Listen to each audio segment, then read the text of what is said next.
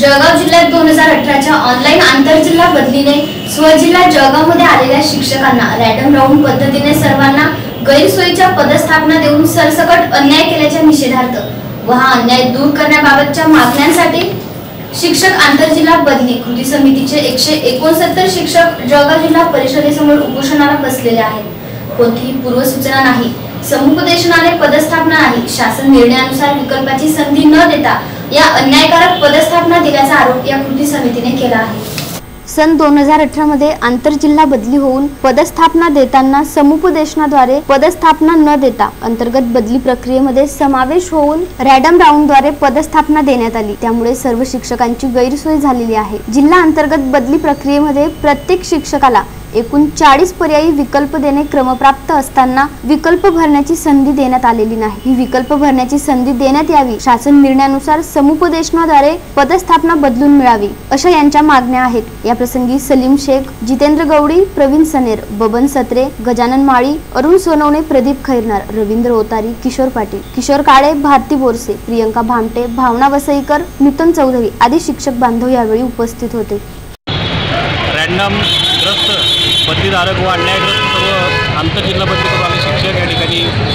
आमरण उपोषणाला बसलेलो आहोत. आम्ही ग्रामविकास विभागाकडे जवळपास सोळा सतरा जूननंतर सतत पाठपुरावा केला आहे की आम्हा आमच्यावर अन्याय झालेला आहे. आम्हाला बदली प्रक्रियेमध्ये जी सत्तावीस दोन सतराच्या जी आरनुसार जी बदली प्रक्रिया राब- राबवली त्याच्यामध्ये वीस विकल्प दिले गेले होते. आणि रॅन्डम राऊंड टाकण्यासाठी त्यांनी चाळीस विकल्प दिले. चाळीस विकल्पामध्ये जे विस्थापित झाले त्यांना रॅन्डमच टाकलं. परंतु आम्हाला त्याच्या कुठल्याच पद्धतीचा विकल्प दिला नाही.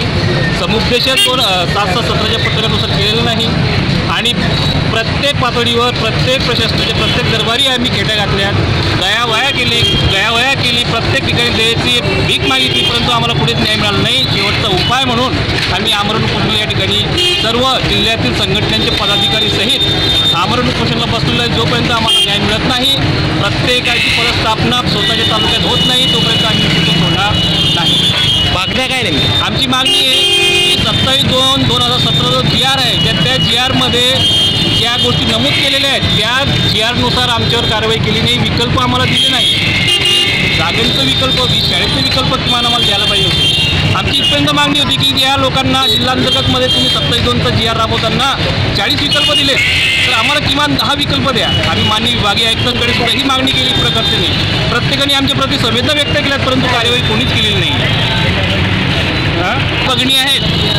या महिला बघणी जवळपास तालुका मुख्यालयापासून जवळपास सतरा ते वीस किलोमीटर अंतरावर आपला छोटे छोटे बाळ घेऊन ते त्या ठिकाणी जाणं येणं करत आहेत असुरक्षित सुरक्षित ठिकाणी रावेरमध्ये पेसांतर्गत सुद्धा महिला भगिनी टाकण्यात आलेलं आहे. तर शासनाला आमची कळकळीची विनंती आहे की आमच्या उपोषणाची आपण दखल घ्यावी आणि आमचा प्रश्न सोडवावा. धन्यवाद. एकमध्ये साहेब फक्त दिव्यांग मित्रांना सुविधा मिळालेली आहे. त्याच्यामध्ये परितक्त्या त्याच्यानंतर विधवा घटस्फोटीचा कुमारिका गरोदर चंदामाता यांना कुठल्याच प्रकारचं शासनाने आतापर्यंत अ, ल- अ, काय म्हणतात न्याय दिलेला नाही म्हणून प्रकर्षाने आपण आपल्या माध्यमातून आमच्या समस्या शासनापर्यंत पोहोचवाव्यात. ही विनंती. माझं नाव आहे सलीम शेख. मी सहशिक्षक आहे उपशिक्षक आहे.